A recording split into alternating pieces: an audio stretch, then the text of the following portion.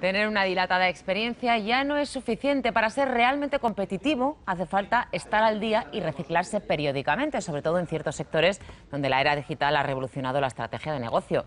Nosotros hemos buceado en ellos en busca de profesionales que han vuelto a las aulas para actualizarse. Queremos saber en qué se están formando, dónde y en qué competencias se demandan ahora en el mercado.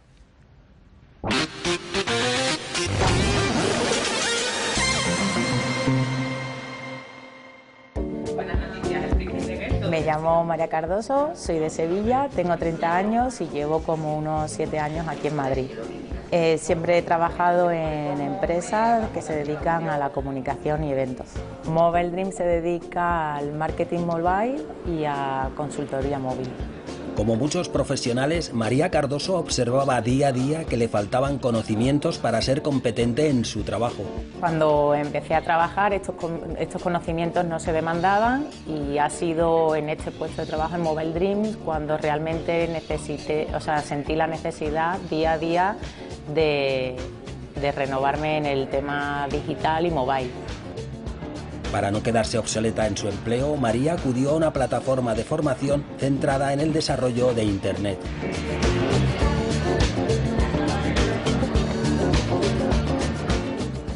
Abogados, periodistas o publicistas, todo tipo de profesionales necesitan saber cómo es y cómo va a ser el negocio en la red. Soy Carlos de los Casares, eh, trabajo en una empresa de marketing promocional.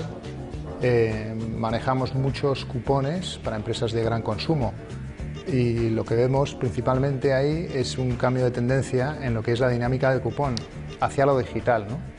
Y, y, entonces ahí es donde realmente vemos en la empresa que no estamos muy preparados para, para hacer frente a ese escenario digital. ¿no? Las empresas no tienen profesionales que, sean expertos en este área porque esto es algo que ha surgido básicamente en los últimos cinco años y eh, por lo tanto se están quedando un poco atrasadas.